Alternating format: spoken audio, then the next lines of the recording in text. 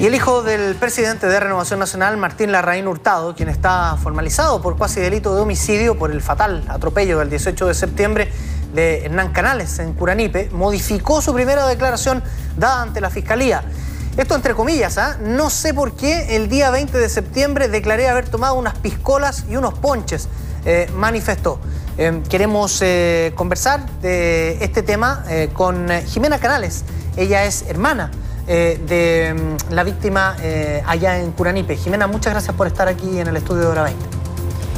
Hola, mira, la verdad que de escuchar la noticia y de saber que, que la reina ahora está está de, verdad diciendo más mentiras, eh, de verdad que nos duele mucho más, nos llega mucho más al alma, porque es una familia, es un ser humano que falleció. Entonces, eh, él no nos está dejando ni siquiera vivir eh, su duelo tranquilo, porque cada vez es mucho más mentira.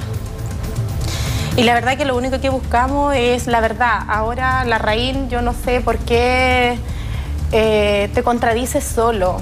Porque si tú mismo con tu propio puño y letra fuiste y declaraste que habías bebido y que además habías dejado a mi hermano 25 minutos mirándolo, ¿por qué lo hizo?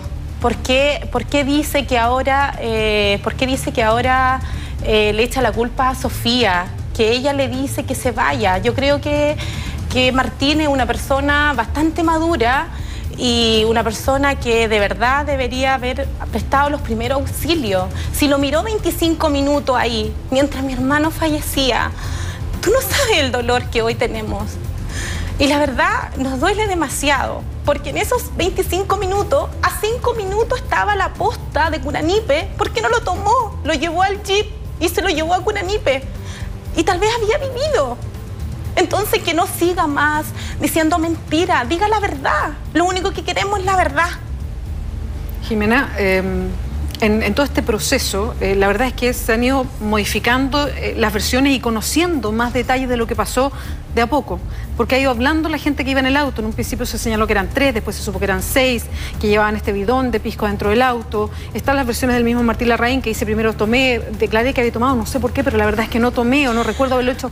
Ahora dime, mira, yo te comento, la verdad, si eran seis que dicen ahora, ¿cómo uno de ellos no iba a capacitar y haberle dicho, tomemos a esta persona y llevémosla. La verdad que está, está pidiendo auxilio, porque uno de los seis no dijo algo. ¿Por qué? ¿Por qué todos se callaron? ¿Qué están ocultando? ¿Que de verdad todos iban ebrios? Porque esa es la única razón. O sea, si una persona sana, una persona que de verdad tiene, a lo mejor en ese minuto está choqueado y todo lo que se quiera, pero eran seis según ellos, entonces uno de ellos ¿por qué no actuó?